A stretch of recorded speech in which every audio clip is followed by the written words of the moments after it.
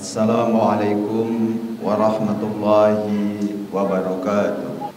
Alhamdulillah Alhamdulillahilladzi hadana lihada wa ma kunna linahtadiya laula an hadana Allah. Ashhadu an la ilaha illallah wahdahu la syarika lah wa ashhadu anna Muhammadan abduhu wa rasuluhu la nabiyya ba'da. Allahumma salli wa sallim wa barik ala nabiyyina Muhammad wa ala alihi wa ashabihi wa mawala. Amma ba'du. Ma'asyiral muslimin jamaah Jumat rahimakumullah. Usikum wa iyaya bitaqwallah qad fazal muttaqun.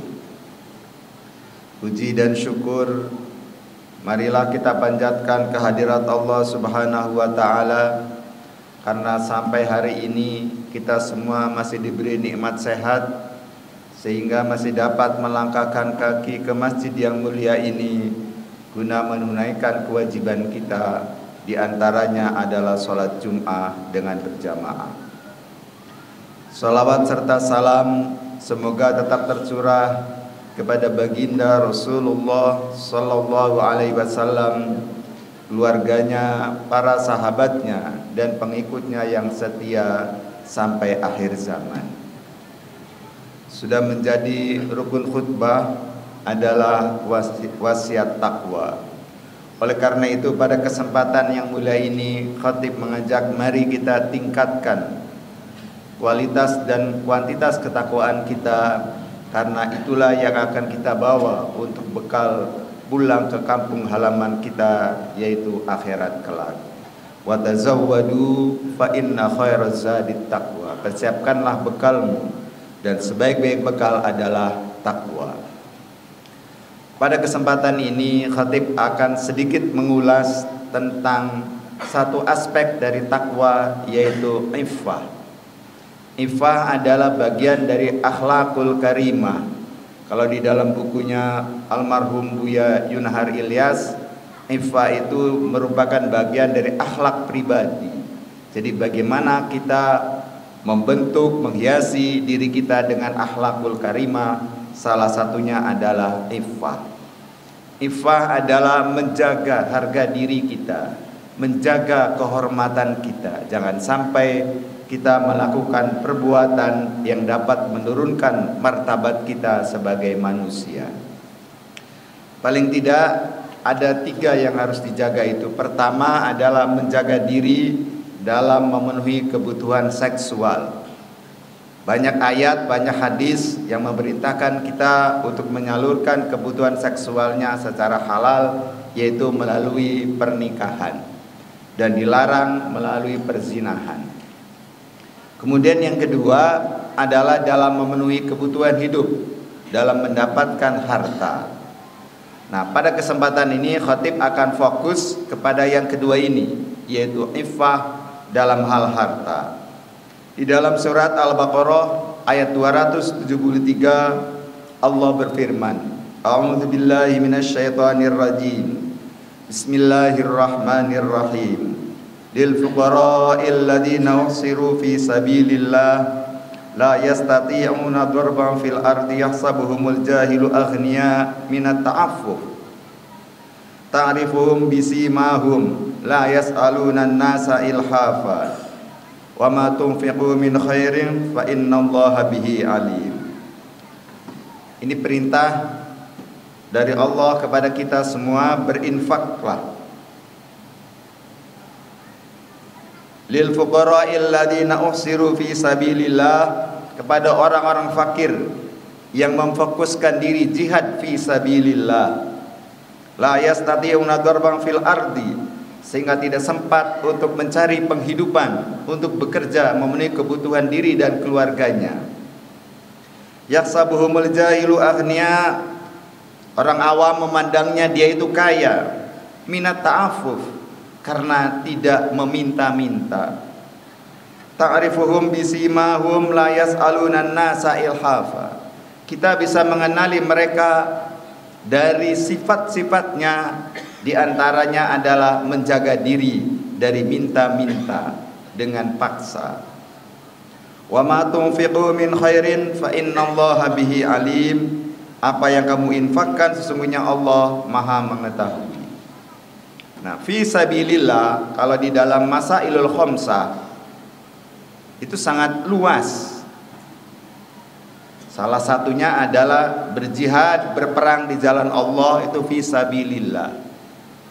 Kemudian bekerja mencari nafkah itu juga fi sabilillah. Tapi di dalam ayat ini fokus kepada mereka yang berjuang di jalan Allah sehingga tidak sempat untuk mencari nafkah, mencari uang untuk nafkah keluarganya.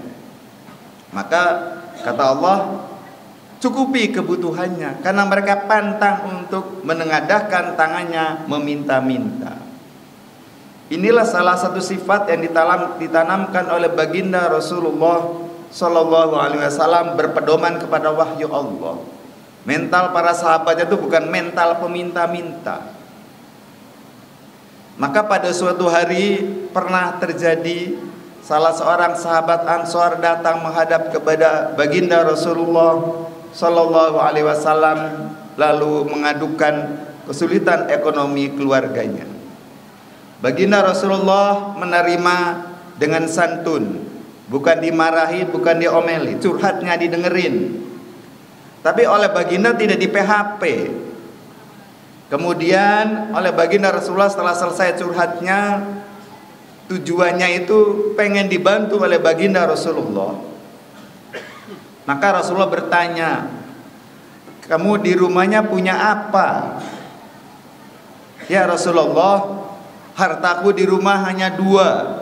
Satu ada selimut butut, yang kedua adalah gerabah tempat air untuk keluarga saya kalau minum dari situ. Kalau di kita semacam teko lah. Zaman dulu belum ada teko seperti zaman sekarang. Kalau begitu kata Nabi bawa itu selimut dan gerabah. Setelah dibawa dihaturkan ke hadapan Nabi, kebetulan para sahabat sedang berkumpul. Lalu Rasulullah melelang. Siapa di antara kalian yang mau membeli selimut butut ini dan gerabah ini? Salah seorang sahabat mengacungkan tangan saya ya Rasulullah. Berapa kamu beraninya? Saya hanya berani satu dirham. Nabi agak sedih juga. Kok penawarannya rendah sekali? Karena memang selimut butut dan teko yang butut juga. Gak ada lagi di rumah selain itu kekayaannya. Kemudian sebagaimana aturan lelang kan diberi kesempatan yang lain. Apakah ada penawaran yang lebih tinggi? nanti barang itu dilepas kepada mereka yang menawar lebih tinggi. Ternyata di antara keheningan itu muncul satu orang sahabat lagi, saya ya Rasulullah. Saya berani dua dirham ya Rasulullah. Kemudian ditunggu oleh Nabi, gak ada lagi yang itu sudah mentok harga tertinggi itu dua dirham itu. Kemudian kata Rasul, silahkan kamu bayar, panggil laki-laki kaum Ansar itu kamu ke sini yang satu dirham belanjakanlah untuk kebutuhan makan istri dan anak-anakmu. Yang satu dirham kamu belikan kapak nanti bawa ke sini. Singkat cerita, sahabat tadi pulang beli makanan dengan satu dirham itu yang cukup untuk istri dan anak-anaknya. Hanya sekedar mengganjel lapar, bukan sampai empat sehat, lima sempurna, enam kekenyangan. Tidak sampai begitu. Hanya sekedar mengganjal supaya anak dan istrinya tidak lapar. Kemudian oleh Nabi kapak itu setelah dibelanjakan datang yang satu dirham untuk makanan istri dan anak-anaknya. Kemudian datang satu lagi membawa kapak. Lalu oleh Rasulullah dibuatkan gagangnya supaya kapak ini bisa digunakan untuk mencari kayu bakar. Apa perintah Nabi? Pergi ke hutan, cari kayu bakar, jual di pasar dan jangan menemui saya selama 15 hari. Maka laki-laki itu undur diri pamit di hadapan baginda Rasulullah dan para sahabatnya kemudian mencari kayu bakar di hutan. Bapak Ibu jangan dibayangkan hutan di Madinah itu kayak di kita itu hutannya itu sangat jarang sekarang sudah mending Saudi Arabia banyak menanam pohon-pohon dulu enggak seperti itu. Jauh nanti dia dapat kayu bakar itu. Singkat cerita, orang ini baru kembali setelah 15 hari. Ya Rasulullah, saya melaporkan. Sekarang saya sudah berhasil mengumpulkan uang sebanyak 10 dirham. Hadirin bisa bayangkan, dikasih modal dengan kapak satu dirham digunakan untuk berbisnis mencari kayu bakar bisa mengumpulkan saving tabungan sebanyak 10 dirham. Kan luar biasa sekali. Lalu yang kedua anak dan istri saya ya Rasulullah Alhamdulillah sekarang terpenuhi kebutuhan hidupnya nggak ada yang kelaparan ini contoh bagaimana baginda Rasulullah mendidik para sahabatnya menjaga harga diri dan kehormatannya. Jangan karena kemiskinan kemudian meminta-minta. Ma'asyiral muslimin jamaah Jumat rahimakumullah. Kita agak sedih ketika beberapa bulan yang lalu ada pembagian bansos segala macam. Itu kan buat kita miris sedih. Semuanya pengen kebagian. Bahkan yang membawa motor kemudian bawa kalung perhiasannya di tangan, di anting, di leher semuanya banyak masih minta untuk antri bansos. Ini yang tidak dididik oleh baginda Rasulullah Sallallahu Alaihi Wasallam. Pantang untuk menjadi peminta-minta. Sehingga baginda Rasulullah kemudian bersabda, Innal mas'alata la tahillu illa li ahadin salasatin. Kata Nabi, minta-minta itu hukumnya haram kecuali bagi tiga orang.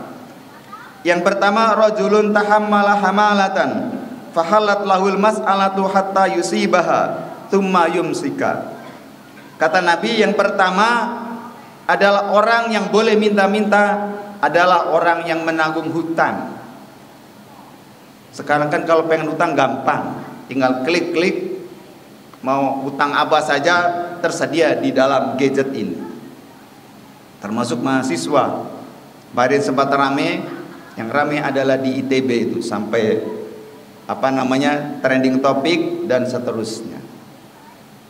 Kenapa?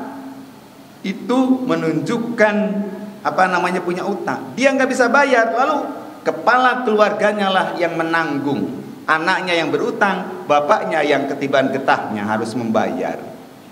Penghasilan nyatinya cukup, jadi tidak cukup untuk memenuhi kebutuhan hidupnya karena harus bayar utang. Orang seperti ini kata baginda Rasulullah boleh minta-minta. Tetapi minta-mintanya jangan jadi profesi. Di Brebes atau di Tegal itu ada satu kampung yang rumahnya kayak di Pondok Indah, tapi kalau di hari-hari biasa sepi, ramainya kalau lebaran. Ternyata rumah kayak Pondok Indah itu dihuni para pengemis profesional. Karena ada yang mencoba menelusuri ini. Yang ngemis-ngemis itu ternyata punya rumah kayak Pondok Indah, tapi di Jakartanya pekerjaannya adalah pengemis. Ini sangat dilarang di dalam Islam. Kemudian yang kedua, jadi mintanya secukupnya saja. Kalau dari minta itu sudah cukup untuk melunasi hutangnya, kalau hutangnya misalnya 5 juta, sudah dapat 5 juta, stop. Jangan dilanjutkan minta-mintanya. Kalau hutangnya 1 juta, dapat 1 juta dilunasi, stop. Jangan diteruskan, keenakan. Itu yang pertama. Yang kedua, kata Nabi, warajulun aswabatu jaihatan ihtajat maluhu fahalat lahul mas'alah hatta yusibuha qiwaman min aisin. Yang kedua adalah orang yang ditimpa musibah pada hartanya. Jadi punya ternak, ternak yang dicuri, punya sawah, uso, panennya gagal, gagal panen karena El Nino dan sebagainya. Sehingga itulah tumpuan satu-satunya untuk penopang ekonomi keluarga tidak bisa diandalkan. Gagal panen, uso, dan berbagai macam yang di luar kemampuan dia. Dia sudah berikhtiar agar tidak minta-minta tetapi usahanya gagal total. Nah, ini boleh minta-minta, minta bantuan sampai bisa mencukupi kebutuhan hidupnya. Sekedar bisa bertahan hidup. Paling tidak kebutuhan primernya terpenuhi. Bukan untuk beli pulsa HP. Kalau pulsa HP itu sudah kebutuhan sekunder. Tanpa HP kita tidak akan mati. Tapi kalau tidak makan, itu banyak penelitian kemungkinannya akan mati. Kemudian yang ketiga adalah warajulun aswabatu faqatun hatta yaqumu salasatun min dabil haja min qaumihi. Yang ketiga adalah orang yang ditimpa kemiskinan sehingga dikenal di masyarakatnya ini orang yang paling miskin. Jadi kalau sekarang namanya kemiskinan absolut, miskin absolut, yang miskin sekali. Sehingga masyarakat sekitarnya kalau tahu pasti kalau disebut nama si Anu, ah dia orang miskin. Inilah yang diperbolehkan untuk meminta-minta. Lalu bagaimana kalau di luar itu kemudian minta-minta? Di dalam hadis yang lain diceritakan oleh baginda Rasulullah, maka nanti ketika dibangkitkan di hari kiamat, maka wajahnya itu tinggal kulit dan tulangnya saja. Sedangkan dagingnya semuanya hilang karena dia tidak bisa menjaga diri dan kehormatannya. Ma'asyiral muslimin jamaah Jumat rahimakumullah. Maka di dalam hadis yang lain Nabi memberikan motivasi bahwa sebaik-baik manusia adalah yang bekerja memenuhi kebutuhan hidup. Sebaik-baik manusia adalah memenuhi kebutuhan hidupnya dari pekerjaan tangannya, bukan dari meminta-minta. Jadi menjaga harga diri itu sangat penting. Nah, pada akhir khutbah ini saya hanya sedikit mengingatkan hadirin sekalian, mungkin minggu-minggu ini di berita, kemudian di WA group kita mendapat informasi kenapa pimpinan pusat Muhammadiyah menarik dananya dari Bank Syariah Indonesia. Saya sendiri tidak tahu apa alasan yang sesungguhnya. Tapi di dalam salah satu koran kontan itu di sana dicuplik. Salah satu yang ada hubungannya dengan ifa. Jadi ketika itu ya kalau kita diminta untuk mengirimkan orang nanti akan menjabat ini dan ini. Ya kan permintaan itu kita kabulkan. Tapi setelah permintaan dikabulkan ternyata ditolak. Itu salah satu. Jadi menyangkut Iffah persyarikatan. Menjaga harga diri persyarikatan juga penting. Jangan persyarikatan modalnya minta sana minta sini tidak. Maka di dalam muktamar kemarin kan motonya itu kan memberi untuk negeri, memajukan persyarikat apa Indonesia, memajukan semesta. Itu bagaimana kontribusi Muhammadiyah. Jadi boleh jadi itu kaitannya dengan infak realnya wallahu alam. Mudah-mudahan nanti tidak menjadi fitnah bagi kita dan tidak mendatangkan akibat buruk bagi bersyarikatan. Barakallahu li wa lakum fil Qur'anil azim wa nafa'ani wa iyyakum bima fihi minal ayati wa dzikril hakim. Wa taqabbalallahu minna wa minkum tilawatahu fastaghfiruhu innahu huwal ghafurur rahim.